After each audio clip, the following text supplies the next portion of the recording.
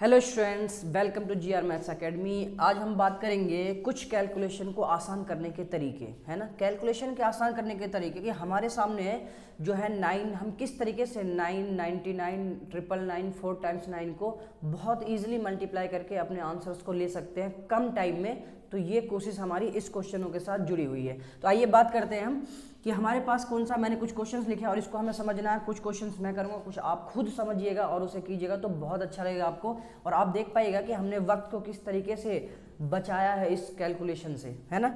तो आइए देखते हैं तो nine double nine triple nine triple nine, four times nine से गुना करना हुआ आसान। बहुत आसानी सीखेंगे। ये अभी तक आपको सिर्फ़ लिखा हुआ दिख रहा है अभी आप जब करेंगे इसको तो आपको लगेगा कि हाँ ये चीज़ें आसान भी हैं। तो आइए देखते हैं।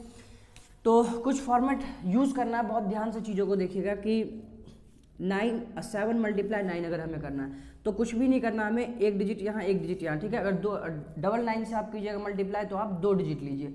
ट्रिपल नाइन से तो तीन डिजिट, ठीक है? तो आपको वहाँ पे चीज़ें दिखेंगी। तो नाइन और सेवन। सेवन से एक कम कितना होता है? छः ठीक है? सेवन से एक कम सिक्स। अब सिक्स में कितना ऐड कर दे जो नाइन हो जाए? थ्री। देख पा रहे हैं आप?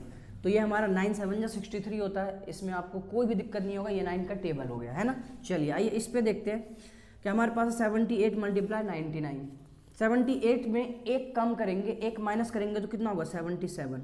कोई दिक्कत नहीं, ठीक है? एक हमने इससे इससे क्या कर दिया? कम। अब देखिए, सेवन में सेवन में कितना ऐड करेंगे जो नाइन होगा? टू। ठीक है, फिर सेवन में कितना ऐड करेंगे जो नाइन होगा? टू। तो ये आपका ये आपका आंसर हो चुका है ना? ये आपका आंसर हो चुका है। Seventy eight multiply double nine करोगे तो आपके पास double seven, double two answer हो जाएगा, ठीक है? तो देखिए विद इन सेकेंड हम कर पा रहे क्वेश्चन को। कोई दिक्कत नहीं। देखिए, यहाँ पे अप्लाई करेंगे।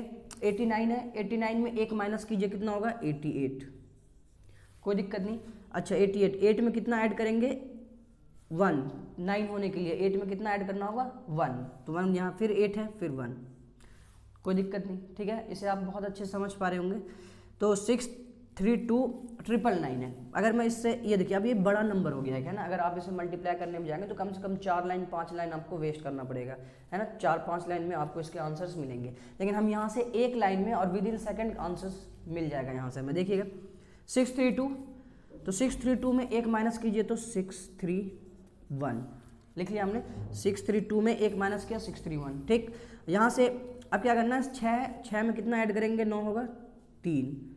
छः, तीन, नौ। आगे देखते रहेंगे तीन में कितना ऐड करेंगे? छः। नौ होने के लिए एक में कितना ऐड करेंगे? आठ।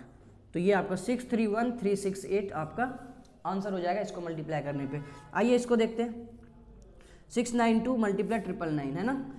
तो यहाँ देखिए, सिक्स, नाइन, टू में एक माइनस कीजिए तो कितना आएगा? Six, nine, one. ठीक है? अच्छा। सिक्स में कितना ऐड करेंगे जो नाइन होगा? कह रहे थ्री।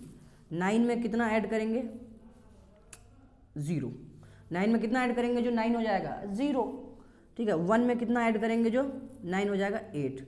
तो six, nine, one, three, zero, eight, ये आपका आंसर हो जाएगा जब आप इसको मल्टीप्लाई करेंगे, करोगे तो ये आएगा, ठीक है? तो इसको देखिए, एक चार वाला देखिए, चार ट्रिप फोर टाइम्स नाइन वाला। देखिए यहाँ पे थ्री टू फाइव फोर है। तो एक कम करेंगे इसे तो थ्री टू फाइव थ्री ठीक है? अच्छा अब थ्री में, देखिए आप बड़े बड़े कैलकुलेशन को कितनी आसानी से कर पा रहे हैं। आप इस बात का थोड़ा सा फील लीजिएगा, ठीक है? थ्री में कितना ऐड करेंगे जो नाइन होगा? सिक्स। टू में कितना ऐड करेंगे जो नाइन होगा? सेवन। फाइव में कितना ऐड करेंगे जो नाइन होगा? फोर। थ्री में कितना ऐड करेंगे जो नाइन होगा? सिक्स। तो three, two, five, three, six, seven, four, six, ये आपका आंसर हो जाएगा। देख रहे हो, एक लाइन में आपने चार डिजिट वाले मल्टीप्लीकेशन का आंसर ले लिया है। ठीक है? तो ये आपके लिए इसका कमेंट में आप आंसर दे सकते हैं। ओके? मिलते हैं। बहुत जल्द नए टेक्निक के साथ। जब तक इसे एंजॉय कीजिए टेक केयर